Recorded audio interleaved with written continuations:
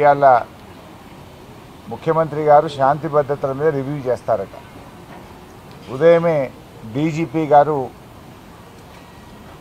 Hyderabad brand image కాపాడడానికి కఠినంగా వ్యవహరిస్తాము అని డీజీపీ గారు ముఖ్యమంత్రి గారు ప్రెస్ రిలీజ్లు ఇచ్చారు. మరి నిన్న ఏమైంది నిన్న గాంధీ గారికి పాయిలెట్ ఇచ్చి అడిషనల్ డీసీపీ గారిని ఎస్కాట్గా పెట్టి ఎనిమిది పోలీస్ స్టేషన్లు దాటించి కా- మా కౌశిక్ రెడ్డి గారి ఇంటి వరకు తెచ్చి దాడి చేయించారే. మరి నిన్న ఏమైంది మీ లా అండ్ ఆర్డర్ని అడుగుతా ఉన్నా. నేను ఆపొచ్చు కదా? గాంధీ గారిని నిన్ను ఆపుంటే ఈ హైదరాబాద్ బ్రాండ్ ఇమేజ్ ఇంత దెబ్బతినేదా? కూకట్పల్లి నుంచి రెండు గంటలు ప్రయాణం చేసి ఎనిమిది పోలీస్ స్టేషన్లు దాటి కౌశిక్ రెడ్డి గారు ఉండే గేటెడ్ కమ్యూనిటీ వరకు కూడా తీసుకొచ్చి ఇంటి లోపలికి పంపించి దాడి చేయించారు కదా. మరి నిన్నేమైంది డీజీపీ గారు? మీరెందుకు నిన్న యాక్ట్ చేయలేదు డీజీపీ గారు అని నేను అడుగుతా ఉన్నా. నిన్న నిజంగా నువ్వు యాక్ట్ చేసి ఉంటే ఈ పరిస్థితులు వచ్చేదా రాష్ట్రంలో? దీనికి కారణం రాష్ట్ర ముఖ్యమంత్రిది ఇది డీజీపీ గారిది కాదా అని నేను అడుగుతా ఉన్నా. చేయాల్సిందంతా చేసి ఇప్పుడేందో సన్నాయి నొక్కులు నొక్కుతున్నారు ముఖ్యమంత్రి ఓ దిక్కు డీజీపీ దిక్కు. ఇంకేందో రివ్యూ చేస్తారట ఇవాళ మధ్యాహ్నం. ఏం రివ్యూ చేస్తావు? ఇంకా సూటికి ఎట్లా కొట్టాలి? ఇంకెవరిని ఎవరిని కొట్టాలి? ఎవరెవరి మీద దాడులు చేయాలని చేస్తావా? అసలు ఉందా ఈ రాష్ట్రంలో లా అండ్ ఆర్డర్ ఉందా? ఖమ్మం పోతే మా మీద రాళ్ళ దాడి చేస్తే ఎమ్మెల్యేల మీద రాళ్ళ దాడి చేస్తే పది రోజులైనా ఎఫ్ఐఆర్ ఇష్యూ కాలేదు. పది రోజులైనా ఆ గుండాలను ఇంతవరకు అరెస్ట్ చేయలేదు. నిన్నేం జరిగింది? కౌశిక్ రెడ్డి గారింటి మీద రాళ్ళ దాడి చేసినటువంటి వాళ్ళకేమో రాచ మర్యాదలు. పోలీస్ స్టేషన్లో వాళ్ళకి మంచిగా బిర్యానీలు తినిపించి సమోసాలు తినిపించి ఛాయలు దాయిపించి ఎస్కాట్ ఇచ్చి గాంధీ గారిని ఇంటి దగ్గర దించి వస్తుంది ఫిర్యాదు చేయడానికి వచ్చిన మమ్మల్ని ఏమో అరెస్ట్ చేసి రెండు గంటలు హైదరాబాద్ అంతా తిప్పి అర్ధరాత్రి జంగల్లో మహబూబ్ నగర్లో ఇడిచిపెట్టింది మమ్మల్ని. అంటే అసలు లా అండ్ ఆర్డర్ పోలీసులు వ్యవహరించే తీరు ఇదేనా నేను అడుగుతా ఉన్నా. అసలు రాష్ట్రంలో లా అండ్ ఆర్డర్ ఉందా అని అడుగుతా ఉన్నా. గతంలో బీఆర్ఎస్ ఎమ్మెల్యేలు మేము నల్గొండకు వెళ్తే డైరెక్ట్గా మా బస్సు మీద కేటీఆర్ గారు మొత్తం ఇరవై మంది ఎమ్మెల్యేలు ఉన్న మా బస్సుల మీద కోడిగుడ్లతో రాళ్ళతో దాడి చేశారు. ఖమ్మం పోతే ఎమ్మెల్యేల మీద బీఆర్ఎస్ ఎమ్మెల్యేల మీద దాడి చేశారు. సిద్దిపేటలో నా క్యాంపు కార్యాలయం మీద దాడి చేశారు. కౌశిక్ రెడ్డి ఎమ్మెల్యే గారింటి మీద దాడి చేశారు. ఏ ఒక్క విషయంలోనైనా పోలీస్ యాక్ట్ చేసిందా? ఎక్కడన్నా అరెస్టులు జరిగినాయా? అంటే ఇవాళ ఏమైపోయిందంటే మీరే ఈ రకంగా రెచ్చగొట్టా ఉన్నారు. ఇవాళ ముఖ్యమంత్రి గారు ఆయనే దీనికి మూల కారణం. ఎందుకంటే ముఖ్యమంత్రి గారు ఆయన నోరు అదుపులో పెట్టుకోవాలి. ఆయన మాట్లాడే భాష భాష బజారు భాష. రెచ్చగొట్టే విధంగా ముఖ్యమంత్రి గారే మాట్లాడతారు. పేగులు తీసి మెడలు వేసుకుంటా లాగులలో తొండలు జొరగొట్టా అని పిచ్చి పిచ్చిగా ముఖ్యమంత్రిగా ఉండి రాగద్వేషాలకు అతీతంగా ప్రవహి ప్రవర్తించాల్సిన ముఖ్యమంత్రే రెచ్చగొట్టే విధంగా మాట్లాడితే డెఫినెట్గా కింద మీ కార్యకర్తలు కూడా అట్లనే చేస్తారు కదా. ఇప్పుడు ఇదే గాంధీ అయినా దానం నాగేందర్ బీఆర్ఎస్లో పనిచేసిండ్రు. కేసీఆర్ నాయకత్వంలో పనిచేసినప్పుడు ఎట్లున్నారు? రేవంత్ రెడ్డి నాయకత్వంలో పనిచేస్తే వాళ్ళ వ్యవహారం ఎట్లున్నది? పదేళ్ళు కేసీఆర్ నాయకత్వంలో ఎప్పుడైనా మాట్లాడినరా వీళ్ళు? ఈ రకంగా రౌడీల్లాగా వ్యవహరించిండ్రా? ఇవాళ ఎందుకంటే యథా రాజా తదా ప్రజ అన్నట్టు రేవంత్ రెడ్డి భాష రేవంత్ రెడ్డి విధానం వల్ల ఇవాళ వాళ్ళ నాయకులు కూడా అట్లే మాట్లాడుతున్నారు. ఇవాళ వాళ్ళ మంత్రి కూడా మాట్లాడిండు కొమటిరెడ్డి వెంకటరెడ్డి.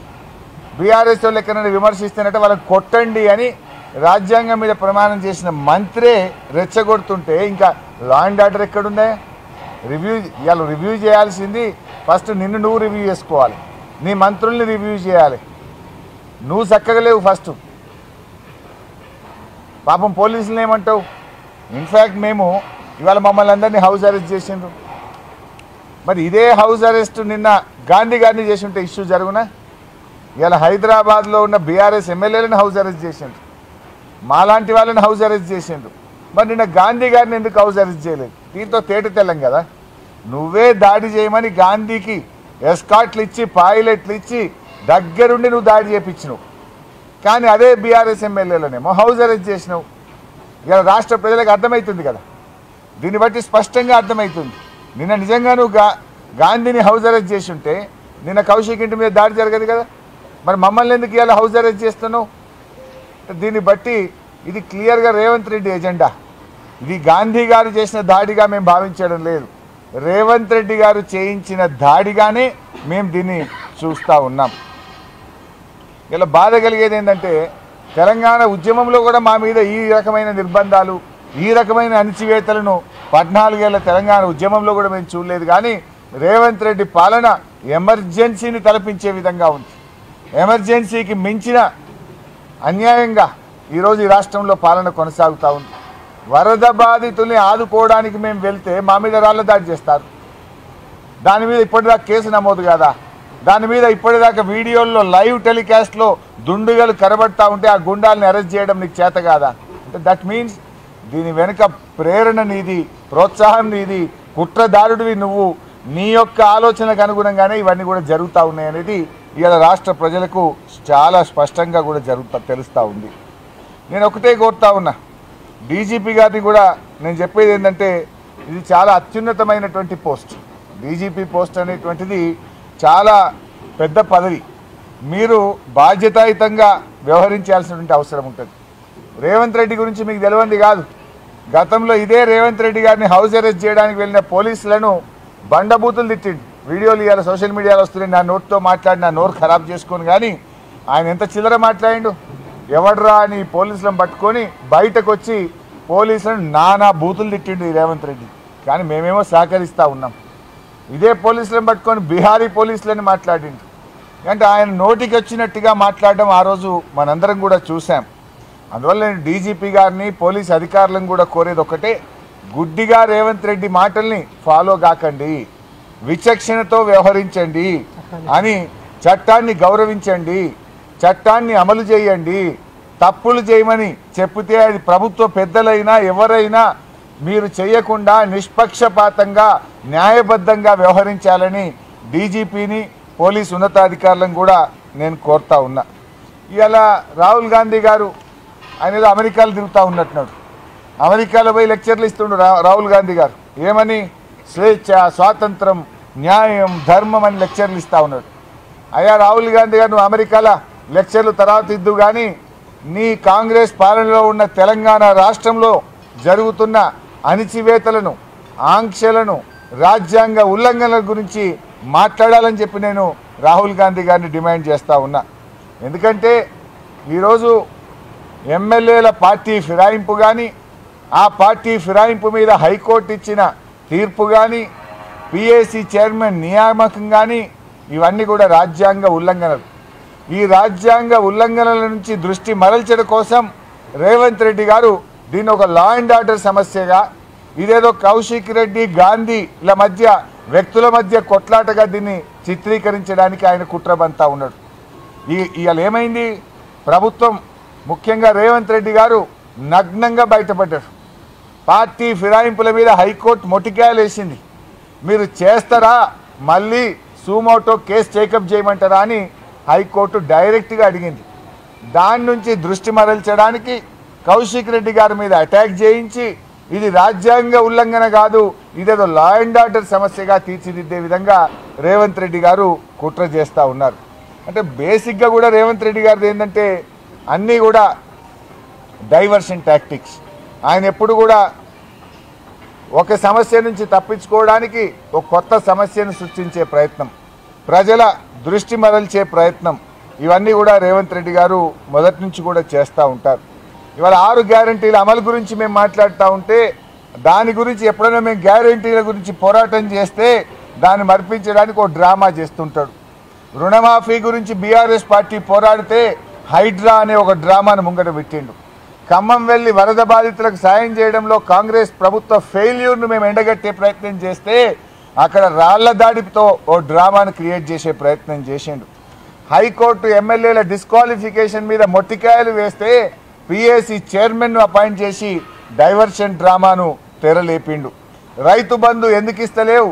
ఇంకెప్పుడు ఇస్తావు రైతు భరోసా అంటే కాళేశ్వరం లీక్ అయిందని దానికి ఒక డ్రామాలు పెడతా ఉంటాడు. అయ్యా రేవంత్ రెడ్డి గారు నువ్వు ఎన్ని డ్రామాలు ఆడినా తెలంగాణ ప్రజలు తప్పకుండా సమయం వచ్చినప్పుడు నీ ప్రభుత్వానికి సమాధి కడతారు.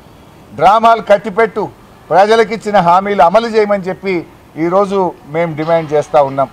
నువ్వు అనుకోవచ్చు ఏదో రాళ్ళు విసురుతున్నాం వీళ్ళు భయపడతారు అనుకున్నాం మాకేమీ పోరాటాలు కొత్త కాదు ఉద్యమాలు కొత్త కాదు అరెస్టులు అంతకంటే కొత్త కాదు.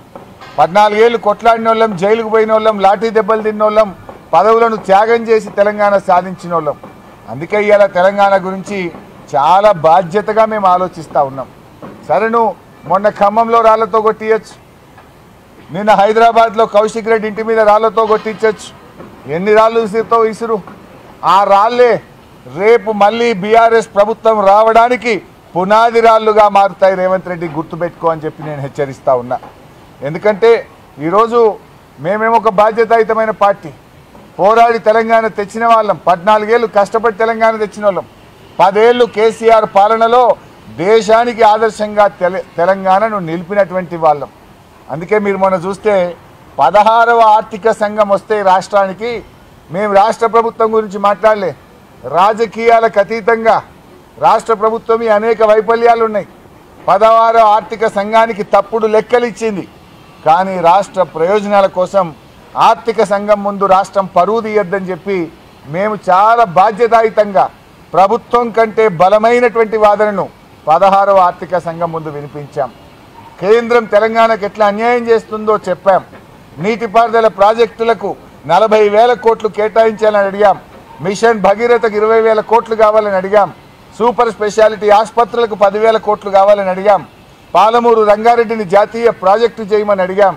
అనేక విషయాలు ఆర్థిక సంఘానికి చెప్పాం. కానీ మేం చెప్పినంత గట్టి వాదన కూడా రాష్ట్ర ప్రభుత్వం ఆర్థిక సంఘానికి చెప్పలేకపోయింది. ఎందుకు మేము చెప్పినాం? నిజంగా మాకు రాజకీయమే ముఖ్యం అనుకుంటే రేవంత్ రెడ్డి ప్రభుత్వాన్ని తప్పుపడదాం. కానీ రాష్ట్రం ముఖ్యం అనుకున్నాం ప్రజలు ముఖ్యం అనుకున్నాం కనుక ప్రభుత్వం కంటే బలమైన వాదన పదహారవ ఆర్థిక సంఘం ముందు మేము వినిపించాం. అది మాకు తెలంగాణ ప్రజలతో ఉన్నటువంటి పేగుబంధం మాది.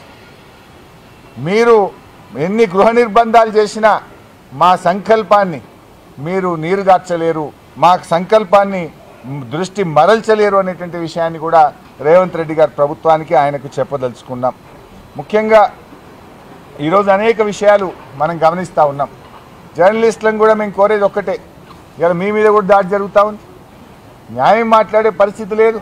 యూట్యూబ్ ఛానళ్ళ మీద ఆయన దాడి చేస్తాడు. అదే యూట్యూబ్ ఛానల్ గతంలో ఆయనకు అందంగా కనబడ్డాయి. ఇవాళ యూట్యూబ్ ఛానల్ అని తింటూ ఉంటాడు. జర్నలిస్టుల మీద దాడి చేస్తూ ఉంటారు మాట్లాడితే గృహ నిర్బంధాలు పెడతా ఉంటాడు. మరి ఆ రోజు నువ్వు గృహ నిర్బంధాల మీద ఏం మాట్లాడినావు? ఇవాళ మమ్మల్ని గృహ నిర్బంధాల్లో పెడతా ఉన్నావు. అయినా మేము సహకరిస్తాం. ఎందుకంటే ఈ రాష్ట్రం ప్రతిష్ట దెబ్బతినొద్దని తెలంగాణ పోలీసుల గౌరవం దెబ్బతినొద్దని నిన్న మేము సహకరించినాం. నిన్న మేము అంత సంయూనంగా ఎందుకున్నాం? అంత ఓపిక్గా ఎందుకు సహకరించాం? మా సంయూనం వెనుక రాష్ట్ర ప్రయోజనం ఉంది. రాష్ట్ర భవిష్యత్తున్నది తెలంగాణ పోలీసుల గౌరవం తగ్గద్దని అత్యంత సంయూనంగా నిన్న మేము సహకరించిన పరిస్థితి. ఈరోజు కూడా మేము ఎందుకు సహకరిస్తున్నాం? దాడికి ప్రతిదాడి చేయలేక కాదు. రాజకీయాల్లో ఈ రాష్ట్ర ప్రయోజనాలు ఆలోచించే వాళ్ళు దాడులు ప్రతిదాడుల గురించి ఆలోచించద్దు. రాష్ట్ర శ్రేయస్సు కోసం హైదరాబాద్ బ్రాండ్ ఇమేజ్ గురించి ఆలోచించాలి. హైదరాబాద్లో పెట్టుబడులు దెబ్బతినకుండా ఆలోచించాలనే బాధ్యతాయుతంగా కేసీఆర్ నాయకత్వంలో మేము పనిచేసినటువంటి వాళ్ళం కనుకనే మేము ఎంతో సంయమనంతో ఉన్నాం. నీకు బాధ్యత లేదు.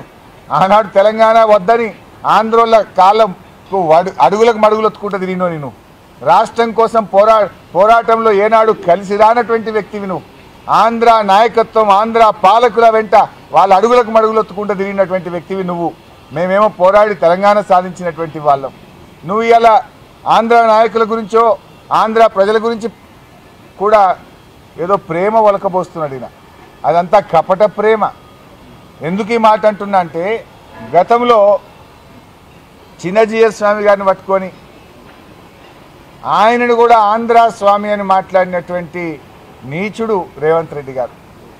ఒక కాంట్రాక్టర్ మన అద్భుతమైన దేవాలయం యాదాద్రి దేవాలయాన్ని ఆనంద్ సాయి గారు నిర్మిస్తే ఆయన ఆంధ్రోడు అని చెప్పి మాట్లాడినటువంటి వ్యక్తి రేవంత్ రెడ్డి గారు. అదే కేసీఆర్ ఏమో హైదరాబాద్లో బతుకుతున్న ప్రజలందరూ నా కంటి రెప్పల్లాగా కాపాడుకుంటా అన్నారు. తెలంగాణ రాష్ట్రం ఏర్పడిన తర్వాత ప్రజలందరినీ కూడా కలుపుకొని పోయిన గొప్ప వ్యక్తిత్వం. ఆంధ్ర తెలంగాణను ఈ దేశం అనకుండా ఎక్కడెక్కడి నుంచో వి- వివిధ రాష్ట్రాల నుంచి ఇక్కడ కార్మికులు కూడా పనిచేస్తే కరోనా వస్తే వాళ్ళకు పండ్లిచ్చి రైళ్ళు పెట్టి భోజనం పెట్టి వాళ్ళని జాగ్రత్తగా వారి రాష్ట్రాలకు పంపినటువంటి మానవత్వం ఉన్న వ్యక్తి కేసీఆర్. అనవసరంగా ఎందుకంటే నువ్వు డిఫెన్స్లో ఉన్నప్పుడల్లా కొత్త డ్రామా పెడతా ఉంటావు. ఇట్లాంటి డ్రామాలు కట్టిపెట్టు. కేసీఆర్ ఏందో? కేసీఆర్ ఈ రాష్ట్ర భవిష్యత్తు కోసం అన్ని వర్గాల ప్రజల్ని ఏ రకంగా కలుపుకపోయినో కూడా ఈ రాష్ట్ర ప్రజలకు కేసీఆర్ పదేళ్ళ పాలనలో చూశారు. స్పీకర్ గారు మొన్న పిఏసీ చైర్మన్ విషయంలో రాజ్యాంగ ఉల్లంఘన జరిగింది. నిన్న రేవంత్ రెడ్డి గారు కూడా మాట్లాడుతూ ఏమన్నాడంటే ఎన్నిక జరిగిందట. మీరు ఇవాళ పేపర్ చూడండి. ఉదయమే నేను రెండు మూడు పేపర్లు చదివాను. పేపర్లో ఎన్నికల ప్రక్రియ ద్వారా పిఏసీ చైర్మన్ ఎన్నిక జరిగిందని నిన్న చిట్చాట్లో రేవంత్ రెడ్డి గారు చెప్పాడు. ఇదో సమస్య రేవంత్ రెడ్డితోని. చిట్చాట్లో చెప్తాడు నేనేడన్నా అంటాడు. నేను అన్నే లేదంటే ఎందుకంటే దాని ప్రూఫ్ ఉండదు కదా వీడియో ఉండదు. ఇప్పుడు గతంలో ఢిల్లీలో చిట్చాట్ చేసిండు. ఏమన్నాడు? అదానికి ఓల్సీడీ అప్ప చెప్తాడు ఏం సంగతే? నువ్వు ఎట్లా అప్ప అదా అదానికి ఓల్డ్ సిటీ అని మేము అడిగితే అసెంబ్లీలో ఏమన్నాడు? హే నేనేడే చెప్పిన పేపర్ వాళ్ళు తప్పు రాసిరు అన్నాడు. ఇది కూడా నిన్న ఢిల్లీలో చెప్పిండు చిట్చాట్లో ఏమని? పిఏసీ చైర్మన్ ఎన్నిక ఎలక్షన్ ద్వారా జరిగింది అన్నాడు. జరిగిందా ఎలక్షన్ ఎలక్షన్ కాదు సెలక్షన్ ద్వారా జరిగింది. ఎలక్షన్ ఎక్కడ జరిగింది? నేను అడుగుతా ఉన్నా. ఒకవేళ నామినేషన్లు ఎక్కువ సంఖ్యలో వస్తే ఒక నామినేషన్ను తిరస్కరించాలంటే రాజ్యాంగం ప్రకారంగా ఎన్నిక జరగాలి. అసెంబ్లీలో ఎన్నిక పెట్టి సింగిల్ ఓట్ మెజార్టీ ద్వారా ఎలిమినేట్ చేయాలి కదా. ఎన్నికేడు జరిగిందే? బులెటిన్ ఇచ్చింది it is not election it is the selection of Revanth Reddy. ఎందుకంటే ఎలక్షన్ జరిగితే స్పీకర్ గారు శాసనసభ విలువాలి కదా. శాసనసభలో నేను వేసిన నామినేషన్ను తిరస్కరించాలంటే అది స్పీకర్ గారు కాదు సభ నిర్ణయించాలి. ఎలక్షన్ ప్రక్రియ ద్వారా నిర్ణయించాలి తప్ప ఒక వ్యక్తులు నిర్ణయించడం కాదు. అంటే నోరిప్పితే అబద్ధాలే. ఏ పూటగా ఆ పూట మాట్లాడు. ఏ రోటికాడ ఆ పాట వాడు రేవంత్ రెడ్డికి అలవాటైపోయింది. దాడి చేయించింది ఆయన్నే. ఇవాళ లేలే హైదరాబాద్ బ్రాండ్ ఇమేజ్ దెబ్బతినద్దు. ఎంతటి వారైనా లా అండ్ ఆర్డర్ కాపాడాలంటే ఇదేదో దయ్యాలు వేదాలు వల్లించినట్లేదు దాడి చేయించిందే నువ్వైతివి. ఏ దాడి చేస్తే నేను ఊరుకోనని మాట్లాడేది నువ్వేనైతివి. నవ్వుకోరా ప్రజలు చూస్తలేరా?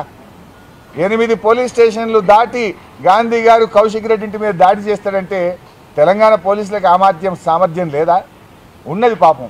వాళ్ళ కాలు చేతులు కట్టేసినావు నువ్వు నువ్వే దగ్గరుండి ఎస్కాట్ ఇప్పించి దాడి చేపిస్తే వాళ్ళు ఏం చేస్తారు పాపం? తెలంగాణ పోలీసులు అద్భుతమైన పోలీసులు. వాళ్ళని కూడా నేను తప్పు పట్టడం లేదు. అందుకే నేను డీజీపీ గారిని కోరింది కూడా. ఇది అత్యున్నత స్థాయిమైనటువంటి అవకాశం. రాగద్వేషాలకు అతీతంగా పనిచేయాలి. న్యాయానికి చట్టాన్ని కాపాడే విధంగా పనిచేయాలి తప్ప ఒక వ్యక్తుల ఇష్టాయిష్టాలకు అనుకూలంగా పనిచేయొద్దని చెప్పి కూడా నేను పోలీసులకు కూడా హితో పలుకుతా ఉన్నాను. ఇక నా ఆరోగ్యం గురించి కూడా మీరు వచ్చింది అందుకోసం నాకు తెలిసి క్వశ్చన్ అడుగుతారని. కానీ సరే నాకు నిన్న వాళ్ళు ఆ తొక్కిసలాటలో తోపులాటలో కొంత చేయికి దెబ్బ తగిలిన మాట వాస్తవం. అయితే డాక్టర్ల దగ్గరికి వెళ్తే చూసి ఒక పదిహేను రోజుల పాటు పదిహేను రో- పదిహేను రోజుల పాటు ఫిజియోథెరపీ చేయండి. ఒకవేళ ఫిజియోథెరపీలో బాగా అవుతుందని అనుకుంటున్నాం కాకపోతే మళ్ళీ చూసి ఏం చేయాలో చేస్తామన్నారు. ఉదయం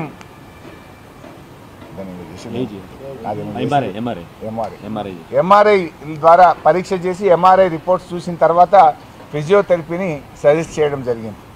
ఈరోజు రాష్ట్ర వ్యాప్తంగా జరిగిన అరెస్టులను తీవ్రంగా బీఆర్ఎస్ పార్టీ ఖండిస్తూ ఉంది. రాష్ట్రంలోని అన్ని పోలీస్ స్టేషన్లలో ఆదిలాబాద్ నుంచి ఆలంపూర్ దాకా మరి అన్ని చోట్ల కూడా మా నాయకులను అర్ధరాత్రి పూట మహిళలను కూడా చూడకుండా అరెస్ట్ చేయడం జరిగింది. ఇది చాలా దుర్మార్గం. ఈ అరెస్టులను తీవ్రంగా ఖండిస్తూ ఉన్నాం. ఈ రాష్ట్ర వ్యాప్తంగా అరెస్ట్ చేసినటువంటి వారిని వెంటనే విడుదల చేయాలని చెప్పి కూడా బీఆర్ఎస్ పార్టీ డిమాండ్ చేస్తుంది. Thank you.